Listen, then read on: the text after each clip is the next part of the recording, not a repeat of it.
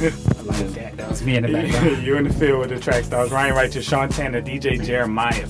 Yeah. All right, here we go. Here we go. Here we go. This one, this one is big for me because I've I've been studying this topic for a while. Um, if you know, in our Bible study, um, what we used to do a couple months ago, we should do that again.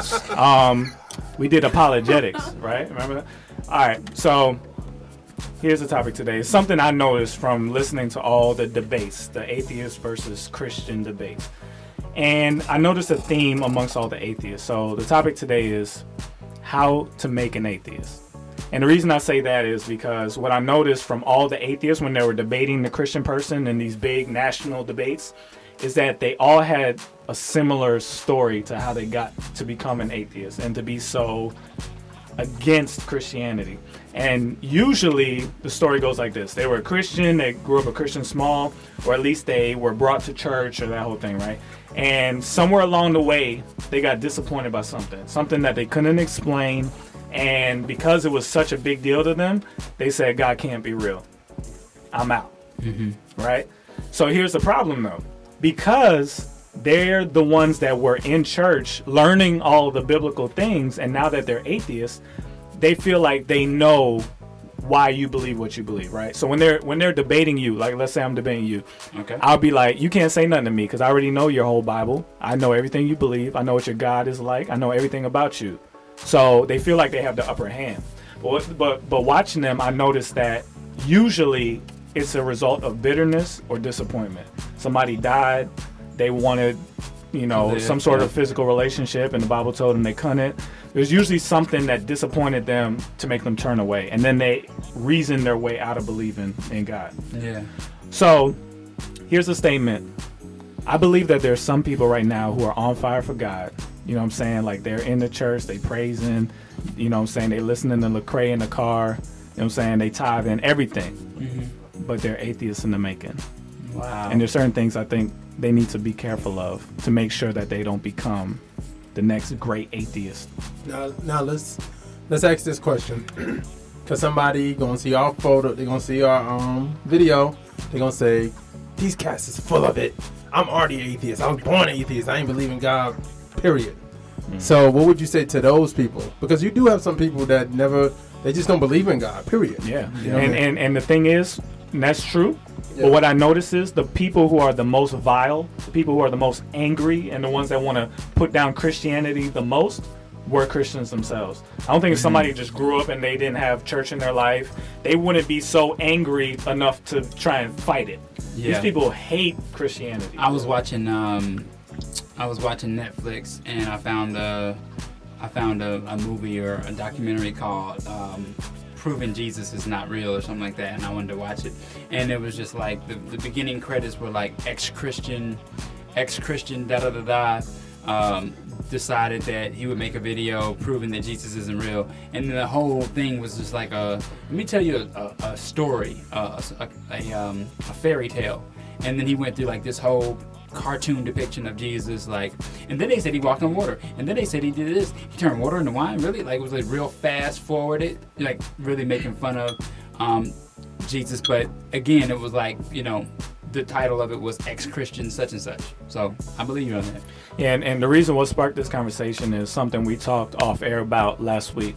And what I notice is there's a lot of people who they start like they're on fire for God. Like, you know what I'm saying? They're in every Bible study, they're they're open the church and they close the church, right? Yeah. They're they're like really excited. And I see that same person, they kind of level off at some point, and then I see them deteriorate. Their, Yeah. their passion deteriorates. They start being cynical about God, like, yeah, whatever. You know what I mean? That that kind of attitude. And I think all of us have experienced that at some point along the way. Yeah. But what keeps you believing? Like what keeps your faith going? Because the people I'm talking about, they got to a point where they said, I'm out. Let me tell you why I think it's so dangerous. I think a lot of people have God on the timetable. They haven't made up their mind that they're going to see this thing through no matter what, no matter how long it takes. And they've got him on a timetable. And so somebody who's on fire right now is like, yeah, I know I wasn't living right. Maybe God hasn't given me uh, a wife or I'm not able to have kids because I wasn't living right. But now that I'm living right, I figure by five years from now, I ought to be straight. Well, what happens is they get into the eighth year and they start saying, okay, you know, five years ago I was cool with this. this timetable, but now I'm three years over where I want to be, and now they're looking at God and they're saying you didn't do what you said you were going to do in the time frame. You should have done it. So, so like, what are some situations that are we saying start to create an atheist? Let's Okay. start doing that. I'll say this: if I just remember in my life certain points where I could have gone either way, right? So let's say this. All right, first first thing that usually happens, especially to a young boy, I don't know how it goes for women, but you get sexually frustrated. You you know that you're not supposed to have sex before marriage, but you see so many people around you not doing that, and they seem to be fine, right? Yeah. and you start reasoning your way out of it. And at some point, and this and t- this is if you are straight or gay. I've seen this happen both ways. So the the problem seems to be a little different. Like if you have uh, a passion for the same sex, you have that struggle, and at some point you give up the fight. But even if you're not gay and you're straight and you and you just want to have sex with your girlfriend or some girl, you you just have this battle of why is it wrong? Why can't I do it? You know, if so and so is doing it, how come they get to do it and I can't? Mm-hmm. And at some point, people just give up that fight. And instead of just giving up, there's two people that are created. Either they become religious Christians where they follow all the other rules and they just say, "Well, I'm not good there," Yeah. or they just give up completely. You see what I'm saying? Yeah. And then okay, so that's that's to me that's one of the reasons. But then this is the next phase that I noticed in my life. There's certain things that I thought were gonna happen, like certain things that I believed about my life, because no matter how spiritual you are, how much you know about God, there's certain there's certain things that you just kind of expect. Like if I do well, if I tithe, if I if I'm faithful, mm-hmm. something good has to happen for me, Yeah. right? Like why would something bad happen for me if I'm doing all these things right? You know what I mean? You don't expect things to go wrong for you. Yeah. So that's the first lesson in your life is like, okay, you expect something to happen or you don't expect somebody to die that dies and it's like, why would you do that to me? You know what I mean? I'm the one that's been following you all this time. Why would you do that to me? Yeah, yeah, and I think that's one of those things that, um, like when we saw that uh, years ago, when we saw that Darwin movie, that's kind of something happened with him with his daughter, and he got to a point where he was like, God can't be real if He's gonna let this happen, or just in general, some people feel like God ain't real because a little girl down the street got killed in a drive-by. Like, why would God Yeah. allow that to happen? You know what I mean? Yeah. So I, I think the thing is, um, going back to what you're saying, and um, the disappointment. I think that's that's huge. Um, you you're going to see that a lot. You know what I mean? I mean, Scripture tells us that people are going to start falling away in the end times. You're going to have more and more people fall away, and I think the thing is. How do you how do you get to that point? You know what I'm saying? Because it's been sometimes, and I'll be honest with you, it's been times where I'm like, yo, I'm, I'm gonna be legit about this thing, or I'm just gonna just leave God. Here's some some of the things that you hear in church that can help create an atheist, right? Mm-hmm. You hear in church somebody will get up on stage and say, "Whatever it is that's in your heart right now, God's going to do that for you. If you just keep believing, keep holding on, God's going to do that thing for you, whatever it is, right?" Mm-hmm. And in my head, I'm like, "Oh, I, I- I think God is going to give me a house next week." And, you and you be like, "What?" And he said, he said it What happened? It's like that's it can't be true for everybody. You know what I mean?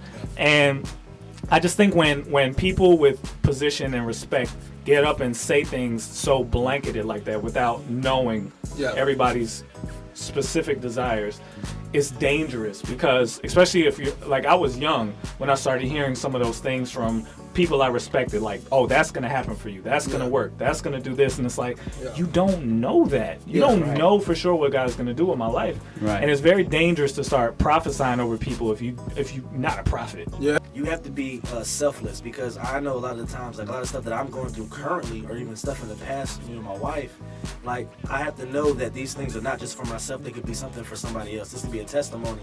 So when I meet somebody in a year, and I can I can let them know how to get through it, how I made it through, and it can speak under their life. So I, I think a lot of people become selfish when they say I believe in God. And if if you're immature in the faith, a lot of things like that are going to happen when you you'll, you'll you'll think that you're only going to see prosperity. When it doesn't show up, you think God's a liar.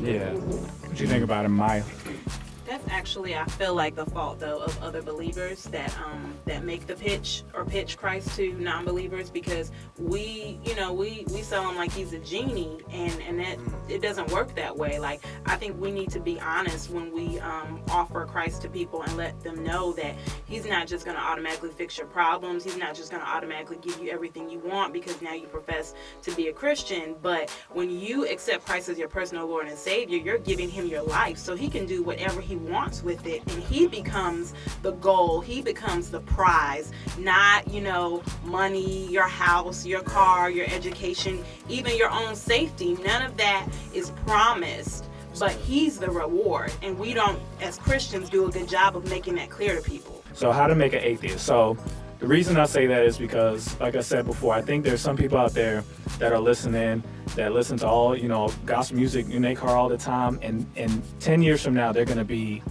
the biggest enemy to the faith. I And I, I just want to make sure that they understand the signs. There's gonna be things in your life that are gonna disappoint you.